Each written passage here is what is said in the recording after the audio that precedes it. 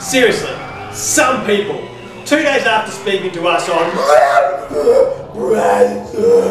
Gabrielle Wang went searching for her long lost triplet.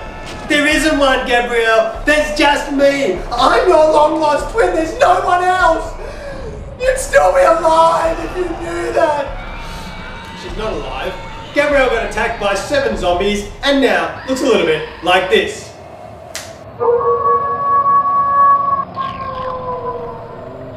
So remember people, a long lost twin is enough. I'm enough! I'm enough!